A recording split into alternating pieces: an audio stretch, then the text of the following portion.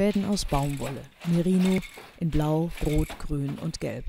Bei Andreas Möller laufen sie zusammen. In seiner Hamburger Werkstatt schafft er Einzelstücke ganz besonderer Art. Ich habe angefangen mit dem Weben, weil ich es nicht perfekt genug fand. Da war ich zwölf und habe in der Schule eine Gruppe beobachtet, die weben sollte, mit Fäden auf Pappe gespannt und dann mit einem Faden hoch, ein Faden runter. Das habe ich zu Hause nachgemacht und hatte wohl Spaß an dem es tun, aber nicht so. Und dachte, dass es doch besser gehen müsste. Und ich habe dann den ganzen Webprozess nochmal neu durchflücht und neu gestaltet. Und so habe ich, seitdem ich zwölf bin, mein ganzes Leben damit verbracht, mir zum einen das Weben selber beizubringen und natürlich auch sehr ähm, traditionell, auch in meiner Webausbildung. Den Webprozess zu optimieren war der große Reiz. Er hat somit ein Spezialkonstrukt entworfen, das er in Entwicklungsländer exportiert.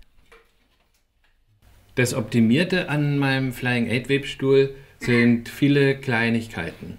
Es ist zum einen die, die Größe. Er ist nur noch 1,20 Meter tief und nicht mehr 1,70 Meter oder sogar noch tiefer. Also spart ziemlich viel Platz. Jeder kann ihn alleine selber bauen. Ähm, mit ein bisschen Konstruktionsholz, Dachlatten und so, Pappe, Tape und strammen Bindfaden.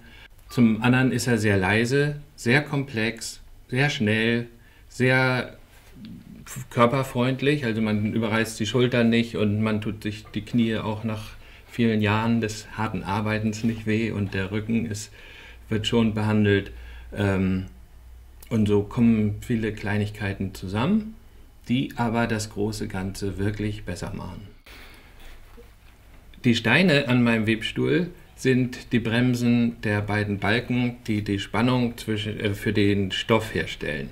Zum einen sind ja die Kettfäden auf den hinteren Balken aufgewickelt und für je mehr ich webe, muss ich auf dem vorderen Balken den Stoff wieder aufwickeln und von hinten nachlassen.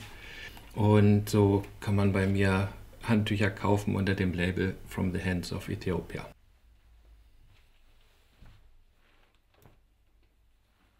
Die Kooperation mit Äthiopien ist das Herzensprojekt von Andreas Möller.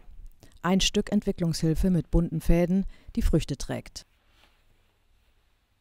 Mit meinem Webstuhl kann man die eigene Kultur bereichern, aber auch den Weltmarkt erobern.